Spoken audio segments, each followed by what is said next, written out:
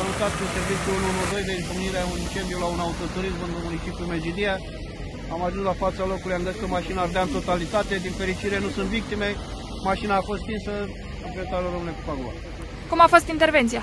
Nu a depus probleme, nu au fost victime,